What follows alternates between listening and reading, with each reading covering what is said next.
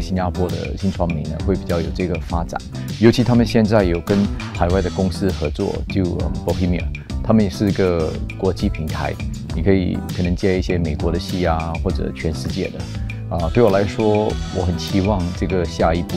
所以这对我来说是一个很自然的一个转变啊，就是从中国市场、台湾市场啊转回新加坡市场啊，然后看能不能往海外来发展。我等了很久了，如果可以用英文来演戏呢，可能对我来说会会有更多的那个更多的发展性。我觉得害怕不会害怕，只是有一个很难形容的感觉，就是又有一点陌生，可是又有一点熟悉。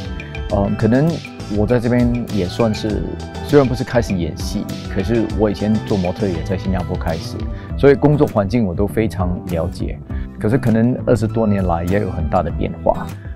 所以在在这个要要找到一个平衡点，目前我觉得还还蛮有趣的，蛮好玩。我们走这行一直以来都是很不确定的的过程，所以这是一个，如果我已经二十五年我还不习惯，那就糟糕。大家可能看到我演的偶像剧都是非常认真、非常霸道的总监这些，可是其实我自己本人觉得我我蛮搞笑的，所以我很。我很喜欢拍喜剧片，啊，那我每次都说，如果要协调一个喜剧片，再协协调一些怎怎么把它合成一部戏，跟一些帅气的方面，跟啊搞笑的方面，就可能我希望可以演一个搞笑的零零七。从几年前，嗯，